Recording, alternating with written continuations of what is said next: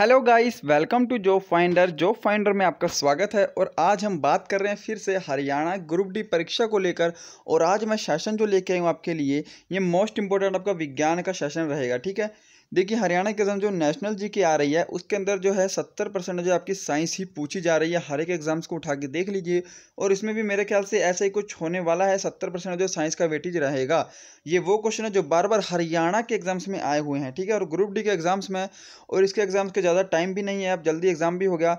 तो उम्मीद है कि पिछले ही क्वेश्चन जो है वो रिपीट होंगे। तो गाइज़ आपको इन वीडियो को पूरा देखना है और आप चाहें तो इसका प्रैक्टिस सेट लगा के चलना, ये ऑप्शन वाले क्वेश्चन है, आप खुद इनका प्रैक्टिस सेट लगाना वीडियो को पोस्ट करके समय लेना और आंसर मेरे साथ बाद में मैच करना और बाद में ज़रूर कमेंट करना कि आपके कितने क्वेश्चन ठीक हुए हैं। मैं इसके अंदर आपको पच्चीस क्वेश्चन देने वाला हूँ।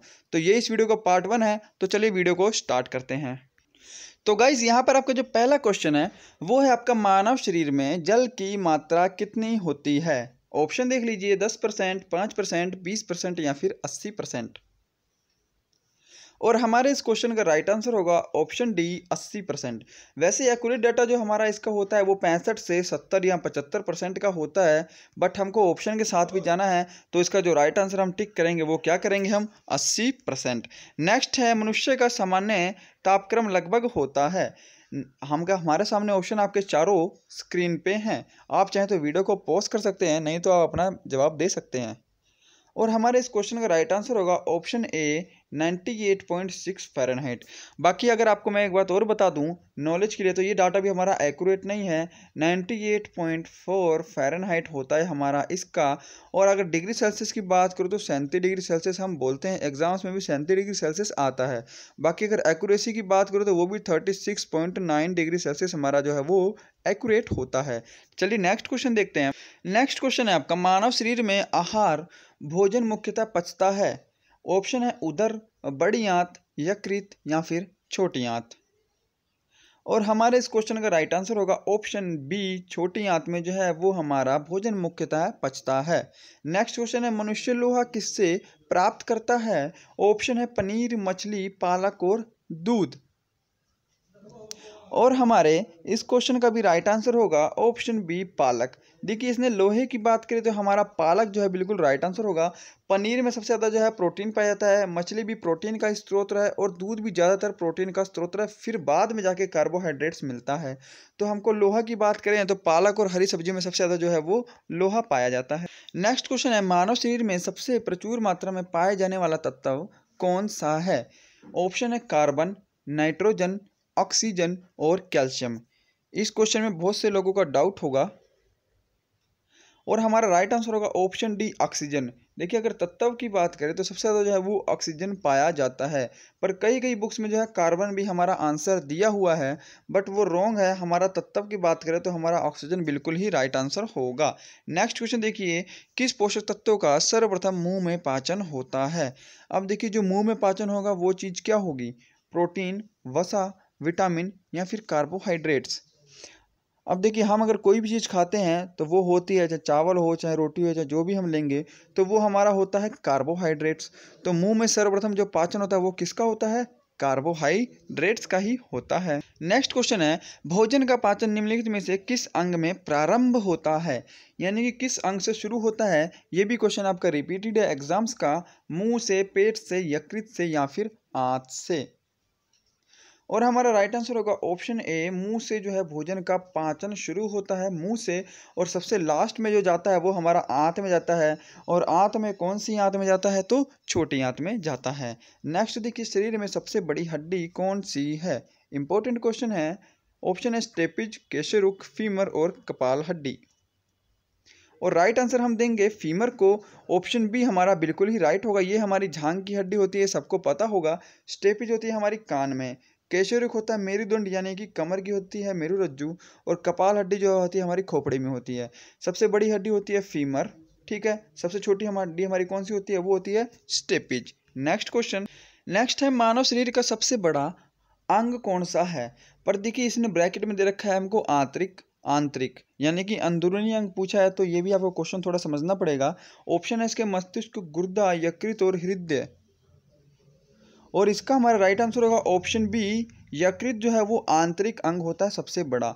और अगर आंतरिक नहीं लिखा होता और अंग पूछा होता तो हमारा जो आंसर है वो किस पे जाता? त्वचा पे जाता। तो हमारा जो है राइट आंसर त्वचा होता। नेक्स्ट देख लीजिए, मानव मस्तिष्क कितने ग्राम का होता है? ऑप्शन है साढ़े तेरह सौ, बारह सौ तीस, पंद्रह सौ ग्राम या फिर ग्यारह सौ ग्राम। राइट आंसर होगा ऑप्शन ए तेरह सौ पचास ग्राम का मानव मस्तिष्क होता है। ठीक है, और तेरह सौ पचास से लेकर चौदह सौ के बीच इसकी रेंज होती है। जो नेक्स्ट क्वेश्चन है, वो है, मनुष्य के मस्तिष्क का सबसे बड़ा भाग है। मस्तिष्क, अनुमस्तिष्क मध्य मस्तिष्क या फिर प्रमस्तिष्क? राइट right आंसर हमारा होगा ऑप्शन सी प्रमस्तिष्क। जिसको हम आगे का भाग भी बोलते हैं, वो हमारा मस्तिष्क का सबसे बड़ा भाग होता है। शरीर में सबसे बड़ी कोशिका कौन सी है? ऑप्शन है तंत्रिका तंत्र, यकृत हृदय या फिर किडनी। और हमारा राइट आंसर होगा ऑप्शन ए तंत्रिका तंत्र। शरीर में सबसे बड़ी कोशिका पूछी है, ठीक है? लीवर पे मत जाना लीवर होती है हमारी ग्रंथि, जिसको हम ग्लैंड बोलते हैं। हमारी कोशिका होती है, तंत्रिका तंत्र सबसे बड़ी कोशिका शरीर में यही होती है। नेक्स्ट क्वेश्चन है, मनुष्य के सबसे छोटी ग्रंथि कौन सी है? ऑप्शन है लीवर पिट्यूटरी थाइमस या फिर लार ग्रंथि। राइट आंसर होगा हमारा ऑप्शन सी पिट्यूटरी ग्रंथि जो सबसे छोटी ग्रंथि होती है। लीवर सबसे बड़ी ग्रंथि होती है पिट्यूटरी सबसे छोटी ग्रंथि होती है। और अंतरस्रावी में भी सबसे छोटी ग्रंथि हमारी पिट्यूटरी ही होगी। लार ग्रंथि को बोलूँ तो ये एक बहिर्स्रावी ग्रंथि है। क्वेश्चन एग्ज़ाम में आ चुका है। थायराइड हमारे गले में होता है, इसमें आयोडीन हमारा संचित होता है और इसी की वजह से हमको थायरॉक्सिन रोग हो जाता है, जिसको हम घेंगा रोग भी बोलते हैं। नेक्स्ट क्वेश्चन देखिए, शरीर में मास्टर ग्रंथि किसे बोलते हैं? ऑप्शन है पिट्यूटरी तिल्ली थाइमस या फिर बूनर ग्रंथि। राइट आंसर होगा ऑप्शन ए पिट्यूटरी ग्रंथि को हम थाइमस ग्रंथि भी बोलते हैं। इसका दूसरा नाम एक सेल टर्सिका भी इसका नाम होता है। खैर, ये हरियाणा के एग्ज़ाम्स में नहीं आया है। थोड़ा सा डीप है ये वाला। सेल टर्सिका जो है पिट्यूटरी ग्रंथि का नाम भी होता है। चलिए नेक्स्ट क्वेश्चन देखते हैं। ये क्वेश्चन भी रिपीटेड है हरियाणा के एग्ज़ाम्स का। आप मानव शरीर में उरो अस्थि कहाँ पर पाएँगे? अब देखिए उरो अस्थि क्या होती है? जो हमारे शरीर की सबसे लंबी ग्रंथि होती है, हड्डी होती है फीमर तो फीमर हम कहाँ पाएँगे? झांग में पाएँगे। राइट आंसर हमारा यही होगा। नेक्स्ट क्वेश्चन है, हम एक मिनट में कितनी बार सांस लेते हैं? सोलह से अठारह, तीस से बीस, एक सौ दस से सौ, या फिर चार से आठ? राइट आंसर हमारा होगा, हम 16 से 18 बार जो है एक मिनट में, एक मिनट में सांस लेते हैं। नेक्स्ट क्वेश्चन टीबिया नामक हड्डी पाई जाती है। ऑप्शन है खोपड़ी, टांग, मुँह या फिर भुजा में। राइट आंसर हमारा होगा ऑप्शन बी टांग में जो है वो टीबिया हड्डी पाई जाती है। नेक्स्ट अंग है वह अंग जो मानव शरीर में पित्त उत्पन्न करता है। पिताशय यकृत, ग्रास, नली या फिर गुर्दा। राइट आंसर होगा हमारा ऑप्शन बी लीवर यानी कि यकृत जिसको बोलते हैं, वो लीवर उत्पन्न करता है और पिताशय के अंदर लीवर स्टोर होता है। ठीक है? नेक्स्ट क्वेश्चन ऑप्थॉलमिस्ट संबंधित है। यह एक रोग होता है और यह किससे संबंधित होता है ये आपको बताना है। राइट आंसर होगा ऑप्शन डी ऑप्थोलिमिस्ट जो है, वो आँख से संबंधित रोग होता है। मानव शरीर में कौन सा पदार्थ तात्कालिक ऊर्जा का स्रोत होता है, जिससे एकदम से एनर्जी मिल जाती है, वो प्रोटीन, विटामिन, खनिज लवण या फिर कार्बोहाइड्रेट्स राइट आंसर होगा हमारा ऑप्शन डी कार्बोहाइड्रेट्स हमारा तत्कालिक ऊर्जा का स्रोत होता है और इसके अंदर जो है वो ग्लूकोज जो अगर ऑप्शन में आ जाए तो वो भी हमारा राइट आंसर हो जाता है।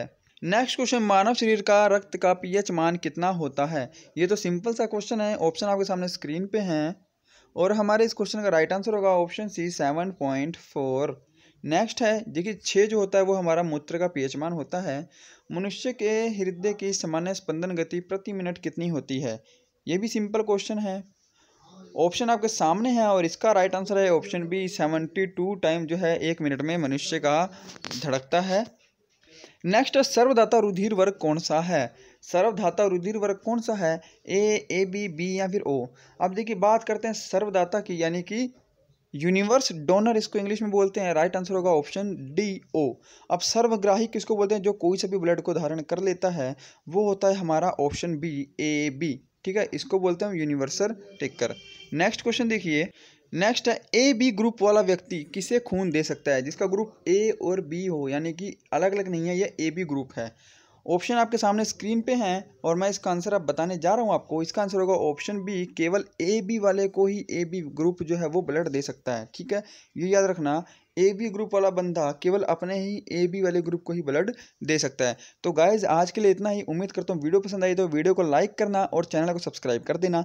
नेक्स्ट पार्ट जल्दी अपलोड करते हैं। Thank you guys for love and support धन्यवाद दोस्तों।